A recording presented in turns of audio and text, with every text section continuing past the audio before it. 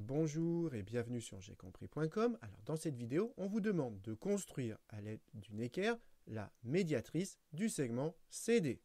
Donc maintenant, comme d'habitude, appuyez sur pause, essayez de faire tout seul cet exercice et on se retrouve juste après pour la correction. Donc allons-y, corrigeons cet exercice. Et comme d'habitude, on commence par faire la construction au brouillon pour comprendre comment ça marche et ensuite seulement on la fera au propre.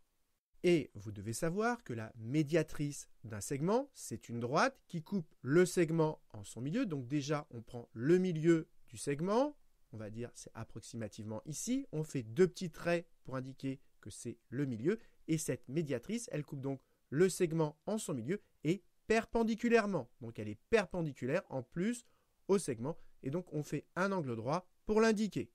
Donc, j'insiste, la médiatrice qui est en rouge ici, elle coupe le segment en son milieu et elle est perpendiculaire au segment.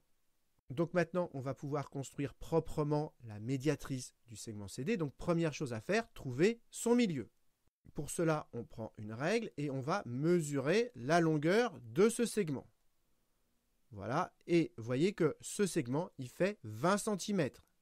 Donc le milieu, il est à la moitié de 20, c'est-à-dire à 10, il est ici. J'enlève ma règle et je fais une croix, une croix pour indiquer que ici, on a le milieu.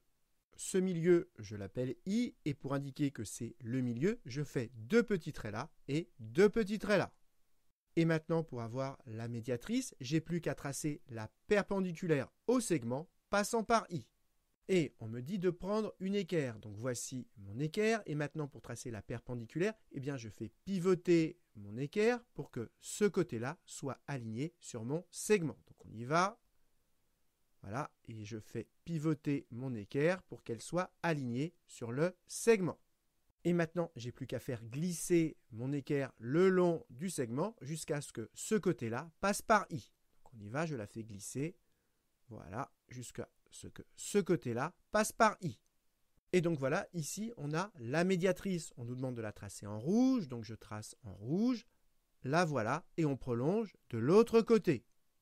Et donc voilà, ici en rouge, on a la médiatrice. Ici en rouge, on a la médiatrice du segment CD. Et on n'oublie pas ici, ici, de faire un angle droit pour indiquer que c'est perpendiculaire.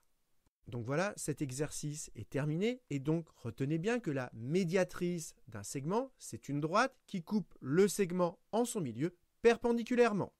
Donc voilà, j'espère que vous avez bien compris et comme d'habitude, si vous avez apprécié cette vidéo, n'hésitez pas à la partager et à la liker.